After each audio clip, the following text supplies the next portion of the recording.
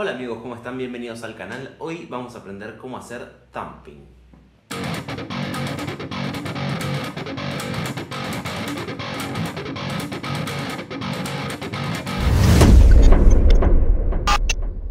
Bueno, la idea en el thump es hacer sonar la cuerda con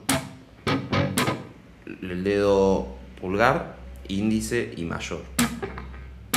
¿Sí? Eh, son cuatro movimientos que tenemos que, que hacer.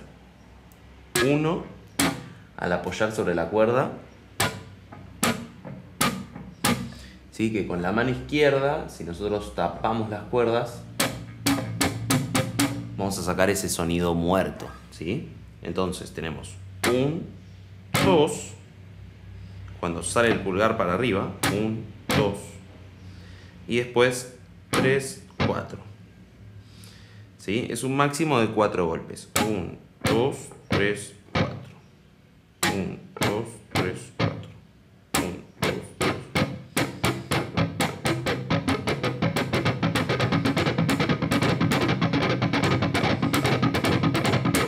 Sí, fíjense que cuando saco el dedo 2, el dedo pulgar, el dedo índice ya está apoyado.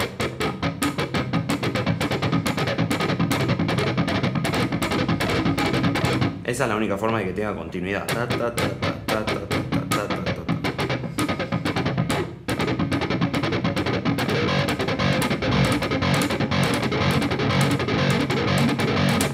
¿Sí?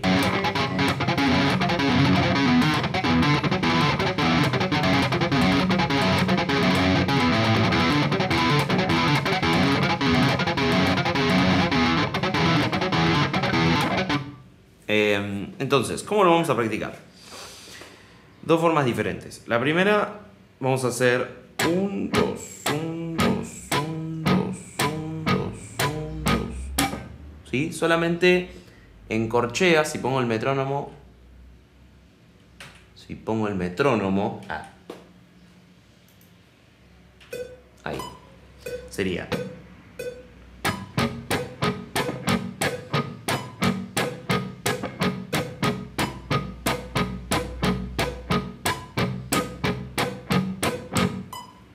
¿sí? Cuando subo es la uña la que hace sonar la cuerda.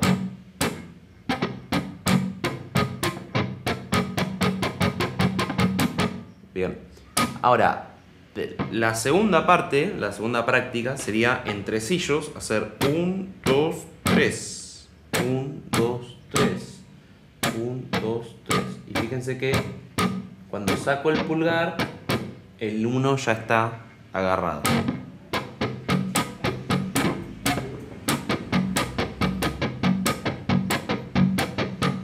¿Sí? En tresillos. Entonces sería trepa.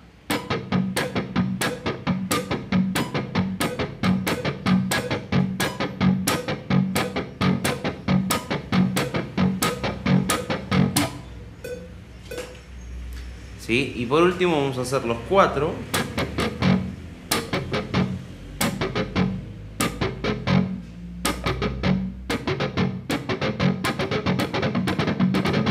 En semicorcheas. Entonces, 1, 2, 3, va.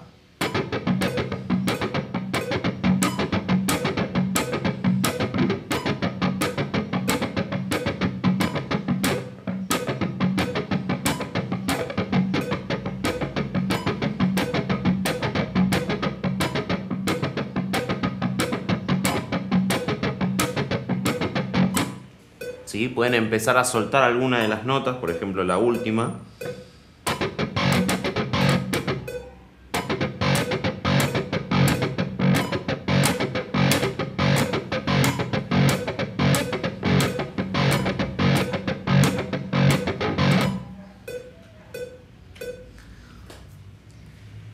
Y también, fíjense que recién yo cuando hacía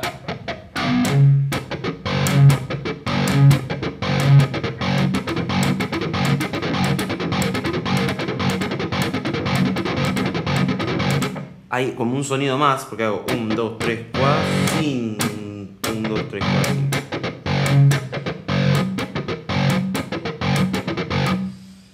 ¿Sí? Entonces podemos hacer quintillos también.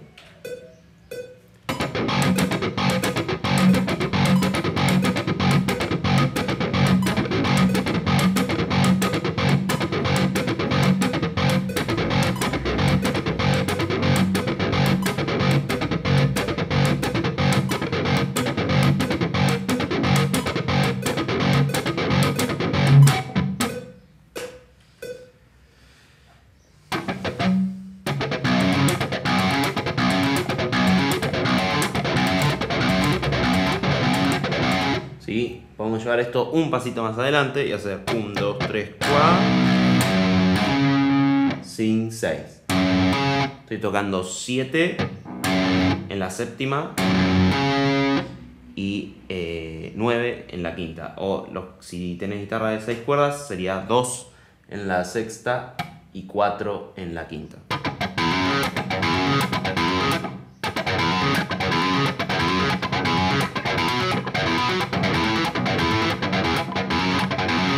Obviamente se puede mover, ¿no? Tácata, tácata, tácata, tácata, tácata, tácata, tácata, tácata.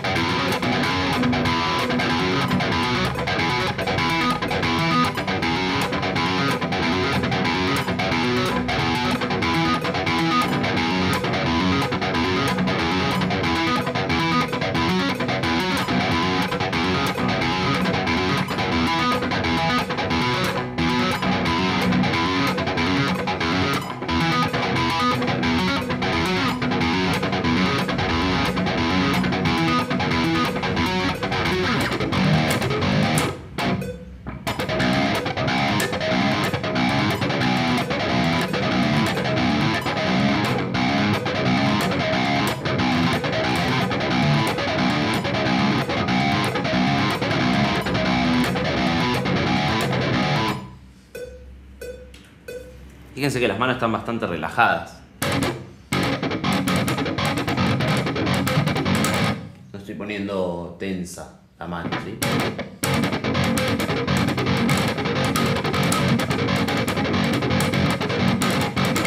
Sí, los quiero dejar con este ritmo que, que hago, lo voy a hacer bien lento. Sí, empieza así. Toco con derecha, tapo con izquierda.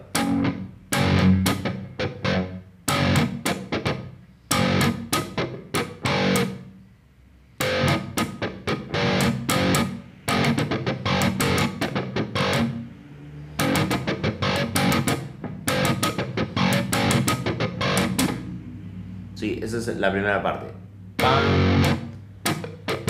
4, 1, 2, 3, tapo. Y 4 de vuelta.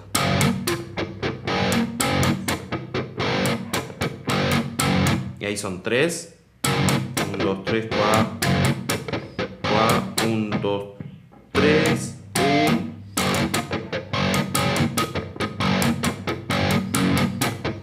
4. ¿Sí? Es como que alternamos siempre entre 4 y 3.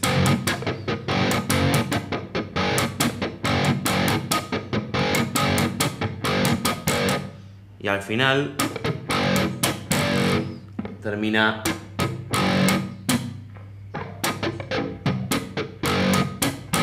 ahí 2, 3, tapo y vuelve a empezar 1, 2, 3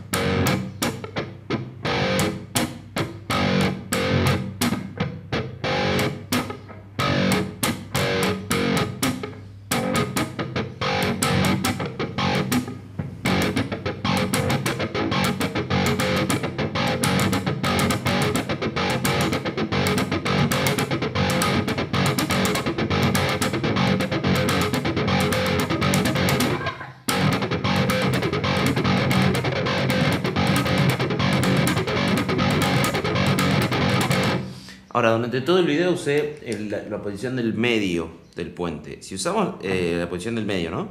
Si usamos la del puente...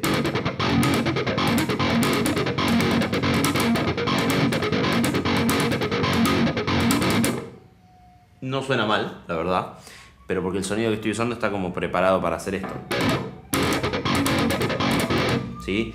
Estamos buscando un sonido con poca ganancia, eh, y con bastante mm, compresión.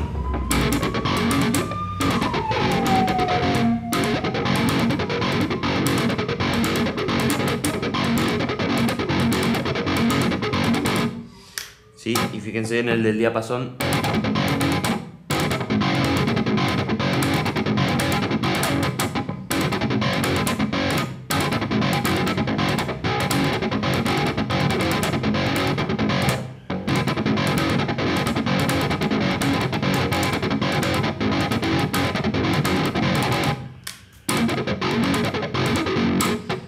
Cada posición tiene su, su ventaja y su desventaja, obviamente. ¿no? Muy bien, eso fue todo por el video de hoy. Espero que les haya gustado. Recuerden suscribirse al canal, darle like, apretar la campanita y comentar lo que quieren ver la próxima. Nos vemos. Chao.